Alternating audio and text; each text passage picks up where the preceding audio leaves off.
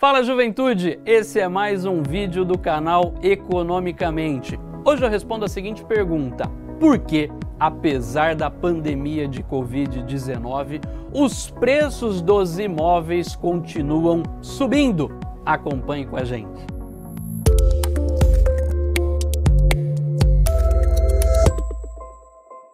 Na crise financeira internacional de 2008, os preços dos imóveis caíram mais de 10% nos Estados Unidos, tirando trilhões de dólares da maior classe de ativos do mundo. No entanto, desta vez a pandemia de Covid-19 levou as economias mundiais para a sua pior recessão desde a Grande Depressão de 1930. Apesar deste cenário, apesar da pandemia de Covid-19 e todos os seus impactos econômicos, nós estamos observando um aumento no preço dos imóveis. Mas afinal, o que justifica aumento de preço neste cenário? No Brasil, o preço médio do metro quadrado acelerou rapidamente, principalmente no segundo semestre de 2020 e os principais motivos são três fatores: política fiscal, política monetária e mudança de preferência dos consumidores. Antes da gente explorar esses três fatores que levaram ao aumento dos preços dos imóveis, vamos olhar efetivamente quanto foi esse aumento. No mundo rico, o preço dos imóveis residenciais encerrou com uma alta em 2020 de quase 5%. No Brasil, o preço dos imóveis residenciais aumentou 3,67% em 2020. Se nós observarmos esta alta de 3,67% no preço dos imóveis residenciais no Brasil em 2020, é a maior alta desde 2015. Eu comentei com vocês que três vetores explicam e justificam a alta no preço dos imóveis. Primeiro, política monetária. Segundo, política fiscal. E terceiro, mudança nas preferências dos consumidores. Vamos começar pela primeira, política monetária. Os banqueiros centrais de todo o mundo reduziram as taxas de juros para níveis historicamente baixos como uma forma de estimular a economia em função dos impactos econômicos trazidos pela pandemia de Covid-19. No Brasil, não seria diferente. O Banco Central baixou a taxa Selic em 2020 para 2% ao ano, a menor taxa de juros nominal da história brasileira. Isso, por sua vez, implicou uma redução do custo dos empréstimos e financiamentos imobiliários. Com o juro básico na mínima histórica de 2%, isto impulsionou e fez com que os financiamentos imobiliários atingissem níveis recordes, que por sua vez puxaram e alavancaram o setor da construção civil, suavizando os efeitos da pandemia de Covid-19. Com a Selic no menor patamar histórico, 2% ao ano em 2020, isso fez com que os juros sobre empréstimos e financiamentos imobiliários caíssem e, de certa forma, coubessem no bolso do brasileiro. Aliás, só um pequeno adendo aqui.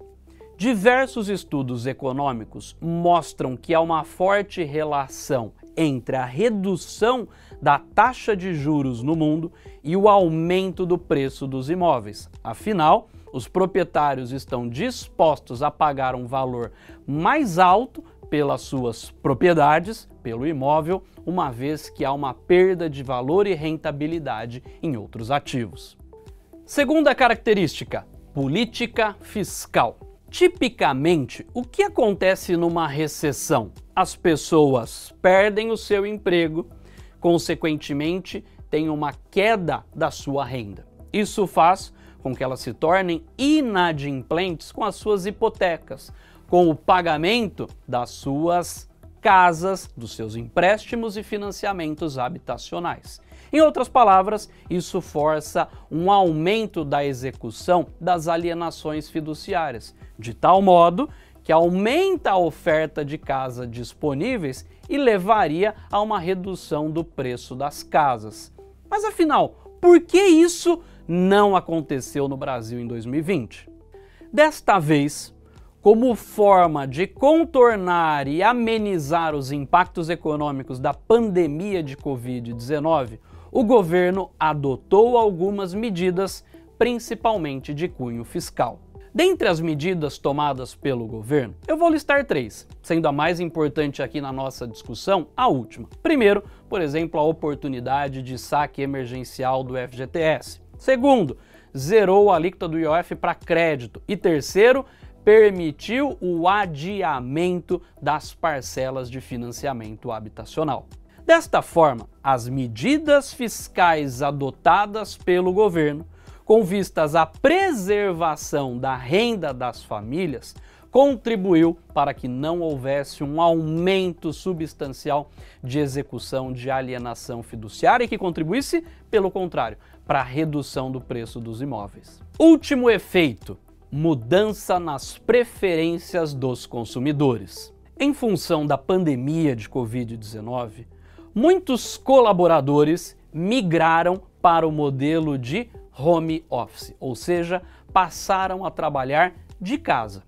Isso fez com que os consumidores mudassem a preferência sobre os imóveis. Antes valorizávamos imóveis pequenos. A partir de agora, começamos a valorizar imóveis maiores e que tenham aquela questão de conforto, onde não é simplesmente a sua casa, o seu lar, mas passa a ser a partir de agora também o seu local de trabalho. Essa mudança na preferência dos consumidores também fez com que houvesse um aumento no preço dos imóveis. Afinal, agora passamos a procurar por imóveis maiores e mais confortáveis.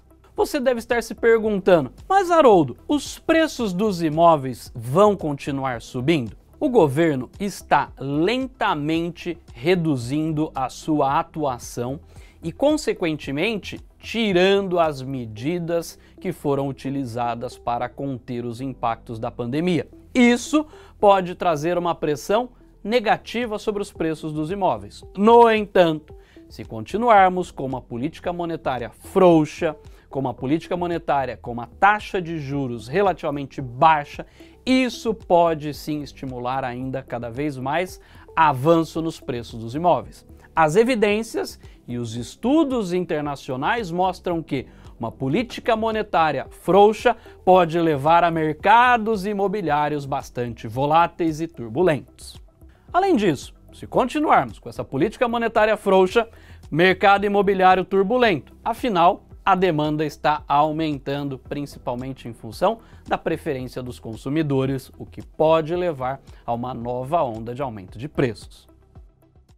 That's all, folks. Isso é tudo, pessoal. Se isso vai se materializar, se este aumento de preços vai continuar para os próximos anos, é cena dos próximos capítulos. Hoje nós discutimos as três razões que explicam o aumento do preço dos imóveis residenciais em 2020. Se você gostou, não esqueça de curtir e compartilhar. Valeu!